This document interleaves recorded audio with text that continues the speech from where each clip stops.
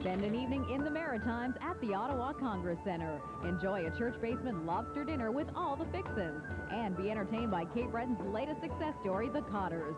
All proceeds from this Down East dinner go to citizen advocacy, assisting people with disabilities in our community.